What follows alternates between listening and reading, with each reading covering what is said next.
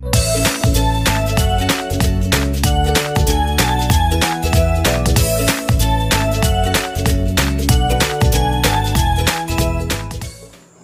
welcome to all friends आप सभी का स्वागत है हमारे YouTube channel genius academic and competitive classes में। मेरा नाम रंजीत तो आज हम चर्चा करेंगे हिस्ट्री यानी इतिहास ताम्र पाषाण काल पर, जिससे पहले हमने चर्चा कर ली थी। पुरा पाषाण काल, मध्य पाषाण काल नव पाषाण काल, और हिस्ट्री के इंट्रोडक्शन पर हमने चर्चा कर ली थी। इनके लेखक के बारे में हमने जाना था, इससे संबंधित जो पुस्तक लिखी थी लेखक ने हेरोडोटस ने, उससे हमने संबंधित जाना था। और नव पाषाण काल में साहित्यिक स्रोत के बारे में, पुरा पाषाण काल में मोहर, मुद्रा वगैरह जो भी थी, इमारतें इनके बारे में हमने जाना था। तो अब हम जानेंगे ताम्र पाषाण काल, किसे कहते हैं, ताम्र पाषाण काल में किन किन वस्तुओं का अध्ययन है, उनके बारे में हम जानेंगे। तो मोटिवेशनली कुछ लाइन है खुशी के लिए काम करोगे तो खुशी नहीं मिलेगी। खुशी के लिए काम करोगे तो खुशी नहीं मिलेगी। लेकिन खुश होकर काम करोगे तो खुशी और सफलता अवश्य मिलेगी। रहे अब हम जानेंगे जैसे ताम्र पाषाण काल क्या है। और इससे पहले मैं कुछ और बोलूँगा, जैसे वीडियो अगर आपको पसंद आती है तो वीडियो को लाइक करें और अपने दोस्तों को शेयर करें और हमारे यूट्यूब चैनल को सब्सक्राइब करें। और कमेंट ज़रूर करें ताकि हमको मोटिवेट मिलता रहे कि आपको वीडियो पसंद आई है। तो अब हम स्टार्ट करते हैं। ताम्र पाषाण काल क्या होता है? जैसे आप यहाँ पे देख सकते हैं। ताम्र पाषाण काल। ताम्र पाषाण काल। ताम्र का मतलब क्या है? जैसे तावा। तावा और पाषाण का मतलब पत्थर। पाषाण क्या है? पत्थर। और काल जो आप जान सकते हैं, काल तीन होते हैं। कौन से होते हैं काल? कौन से होते हैं काल? तीन होते हैं। तो तीन कौन से होते हैं? भूतकाल। भूतकाल होता है एक, भविष्यकाल होता है। भविष्यकाल होता है और एक वर्तमान काल होता है। वर्तमान काल। अब जो हमारा ताम्र पाषाण काल है, वो कौन सा काल है?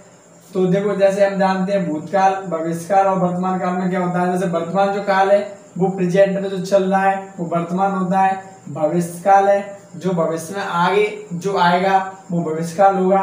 भूतकाल जिससे पहले जो गुजर चुका है, यानी पीछे जो था, वो भूतकाल है। तो भूतकाल में आप ये ताम्र पाषाण काल जानेंगे तो ये ताम्र पाषाण काल है, वो कौन सा है? भूतकाल है, क्योंकि गुजर चुका है बहुत समय पहले।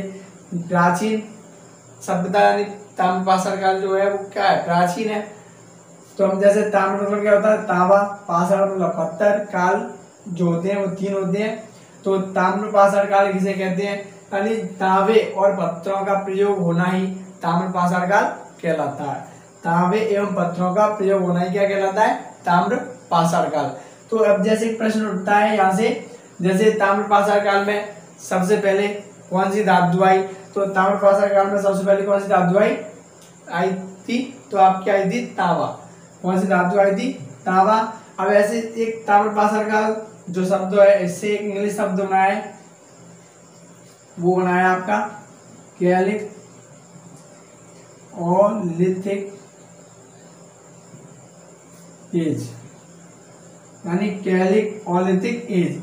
जिसको ताम्र पाषाण काल कहते हैं। कैलिक ओलिथिक एज को कहते हैं ताम्र पाषाण काल कैलिक ओलिथिक एज का मतलब है, कैलिक ओलिथिक एज का मतलब क्या है? यानी पत्थर पत्थर एवं तांबे का प्रयोग। तांबे का प्रयोग। पत्थर एवं तांबे का प्रयोग जिसका अर्थ होता है कैलियोथिक एज का। कैलियोथिक एज किससे संबंधित है? ताम्रपाषाण काल से संबंधित है, जिसमें पत्थर एवं तांबे का प्रयोग हुआ है।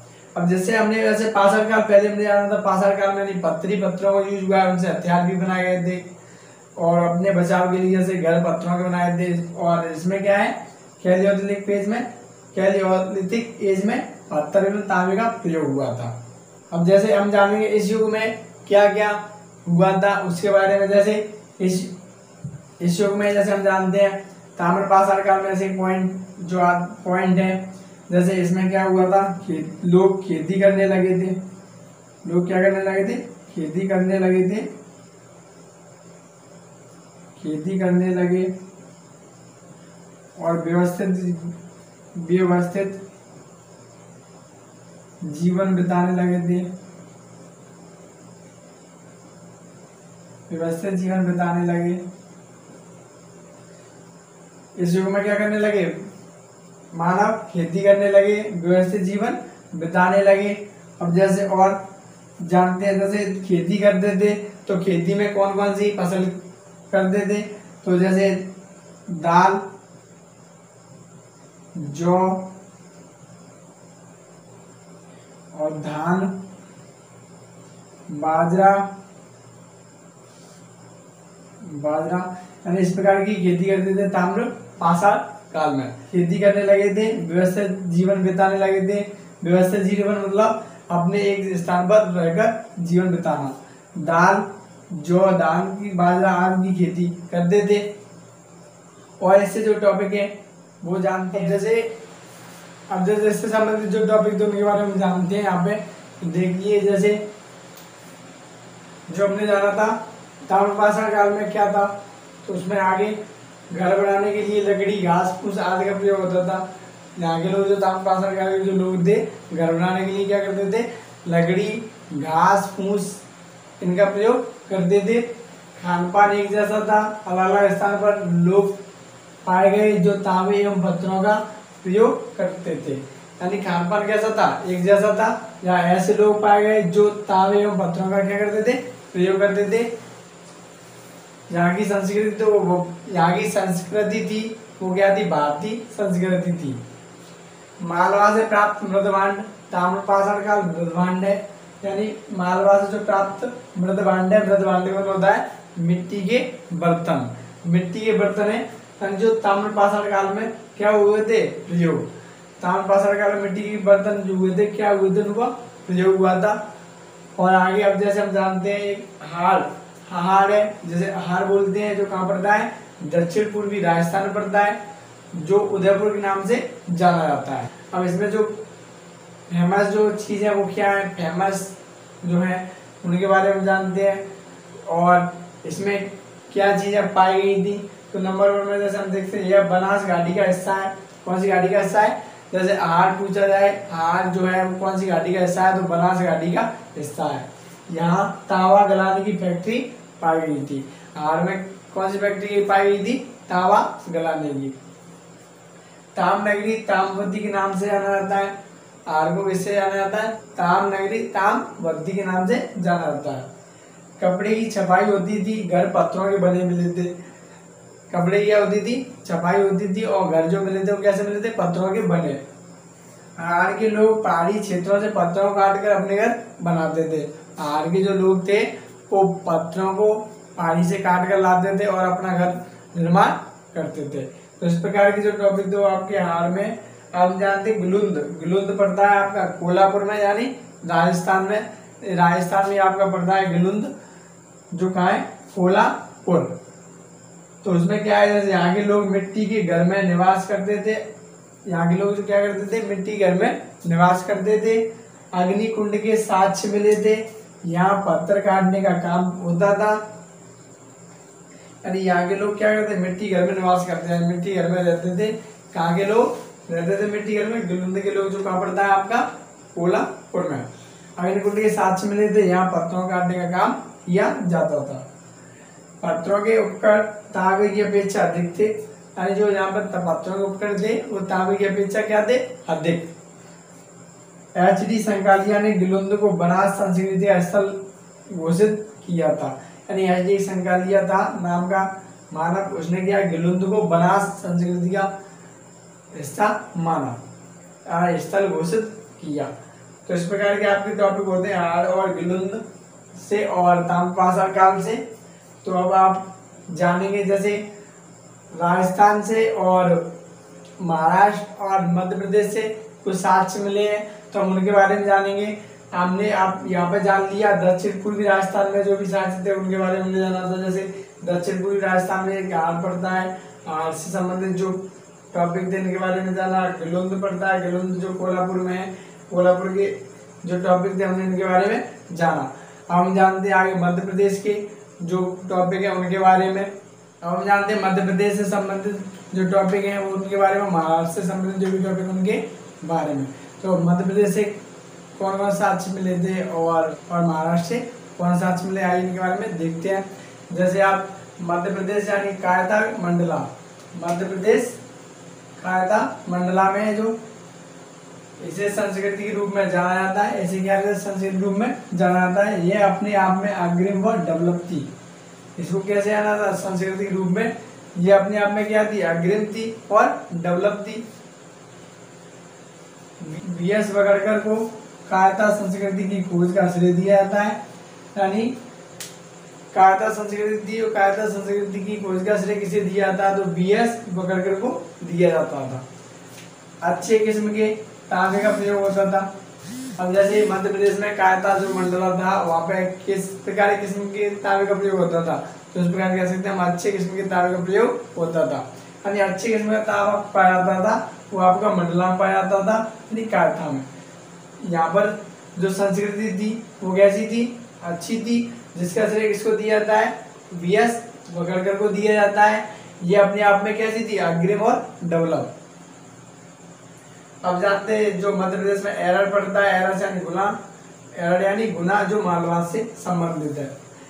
एरर जो क्षेत्र है, जिसको गुना कहते हैं, कहाँ संबंधित मालवा से।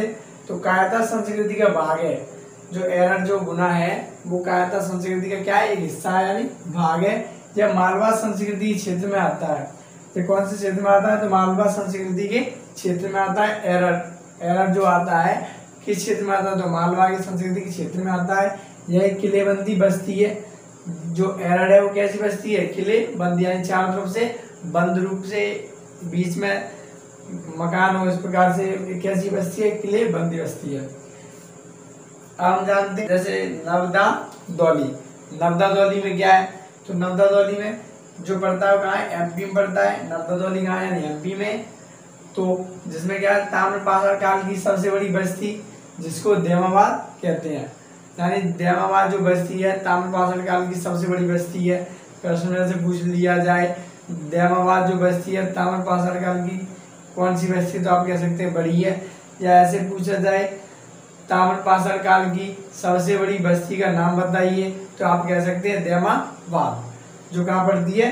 नवदा दौली एमपी में, यानी मध्य प्रदेश में। अब हम जानते हैं महाराष्ट्र से संबंधित जो तथ्य है, महाराष्ट्र। तो महाराष्ट्र से पश्चिमी महाराष्ट्र में जो क्षेत्र है, पश्चिमी महाराष्ट्र क्षेत्र में सबसे नवीनतम संस्कृति है, यानी यहाँ की जो पश्चिमी महाराष्ट्र है, वहाँ की संस्कृति कैसी है? सबसे नवीनतम, एकदम नई प्रकार की संस्कृति। ताम्र पाषाण काल का सबसे बड़ा क्षेत्र अब जैसे प्रश्न में आ जाए ताम्र पाषाण काल का सबसे बड़ा क्षेत्र कौन सा है? तो आप कह सकते हैं, ताम्र पाषाण का सबसे बड़ा क्षेत्र क्या है? यहाँ पे आपको दिख रहा है पश्चिमी महाराष्ट्र ताम्र पाषाण काल का सबसे बड़ा क्षेत्र है। सबसे नवीनतम संस्कृति इसी में से दिया जाता है। यह प्रवरा नदी के किनारे स्थित है, जो आपका सबसे बड़ा क्षेत्र है। ताम्रपाषाण काल का वो कौन सी नदी किनारे? प्रवरा नदी के किनारे स्थित है। यहाँ पर कास्ट का रत्न मिला था। किसका रत्न मिला था? यहाँ पर कास्ट का रत्न मिला था, जो कास्ट योगीन हड़प्पा से संबंधित था। जो कास्ट योगीन किससे संबंधित था? हड़प्पा से संबंधित था। अब जानते हैं, इनाम गाँव। इनाम का इसमें बहुत ही महत्वपूर्ण है, यानी पेपर में पूछ लिया भी जाता है एन एनटीपीसी ग्रुप डी में, इसमें प्रश्न भी आ सकता है। तो आप उसको अच्छे से और जान लें। जैसे सबसे बड़ी बस्ती है, इसमें इनाम गाँव में सबसे बड़ी बस्ती है। यहाँ केसरी फ़सल उगाए जाने के साथ मिले थे। यहाँ पे कैसी फ़सल उगाए जाने के साक्ष्य मिले। केसरी फ़सल उगाए जाने के साक्ष्य मिले। केसरी फ़सल किस प्रकार पैदा होती थी? तो इसको यानी यहाँ पर पानी की बहुत ही कमी थी। तो पानी कमी होने के कारण यानी खेसरी जो फ़सल थी, वो पानी की कमी में उत्पन्न हो जाती थी। यानी इसकी पानी की आवश्यकता कम पड़ती थी। जो खेसरी फ़सल थी इस फ़सल को पानी की कम आवश्यकता पड़ती थी और वैसे भी यहाँ पर इनाम गाँव में पानी की क्या थी? कमी थी। जो किसमें पड़ता है? महाराष्ट्र, पश्चिमी महाराष्ट्र में पड़ता है। तो आप इसमें और भी जैसे हमने जाना था टॉपिक और भी जैसे ताम्रपाषाण काल में या मानव ने बहुत कुछ सीख लिया था, जैसे बस्ती यानी कि अपना घर बनाना, घास फूस के बनाते थे, और घास फूस के बनाते थे और खेल खिलौने वगैरह बनाना टेस्ला बनाना, इस प्रकार की धातु में ये शिल्पी आकार जैसे दांत हाथी के दांत वगैरह, इस प्रकार के शिल्पीकार थे, यानी बहुत कुछ बना लेते थे ताम्रपाषाण काल में। और ये जो ताम्रपाषाण काल है, भारत में ताम्रपाषाण काल की कई बस्तियाँ हैं। जो हमारा भारत, इंडिया है, भारत में ताम्रपाषाण काल की कई बस्तियाँ हैं। जो कुछ हड़प्पा संस्कृति के समकालीन है। जो क्या है हड़प्पा संस्कृति के समकालीन है। अब जैसे इसमें थोड़ा हड़प्पा संबंधित भी प्रश्न उठ जाता है, थोड़ा हड़प्पा संबंधित कुछ आ जाता है। जैसे अब हम आगे जानेंगे तो वो हड़प्पा से ही जानेंगे, यानी हड़प्पा जो होती है वो सिंधु घाटी सभ्यता है, सबसे प्राचीन सभ्यता कही जाती है हड़प्पा सभ्यता है। हड़प्पा जो सभ्यता है वो सिंधु घाटी को कहा जाता है। तो अब जो इससे आगे जो टॉपिक है, हम उसके बारे में आगे जानेंगे। यानी सिंधु घाटी सभ्यता इसके बाद हम वीडियो लाएँगे सिंधु घाटी सभ्यता पर। सिंधु घाटी सभ्यता हड़प्पा सभ्यता से संबंधित जो भी प्रश्न होंगे, उनके बारे में हम चर्चा करेंगे। आपको वीडियो कैसा लगा तो लाइक करें और हमारे यूट्यूब चैनल को सब्सक्राइब करें और कमेंट अवश्य करें। और अपने दोस्तों को अधिक से अधिक ज़रूर शेयर करें ताकि वो भी इस वीडियो को इस वीडियो का फ़ायदा उठा सकें, क्योंकि इससे संबंधित जो भी प्रश्न एन ग्रुप डी हैं, दिल्ली पुलिस है, इससे संबंधित थोड़ा कुछ ना कुछ अवश्य मिलेगा। तो आप तैयारी करते रहें और खुश रहें हमेशा। तो मिलते हैं आप अगली वीडियो में। धन्यवाद।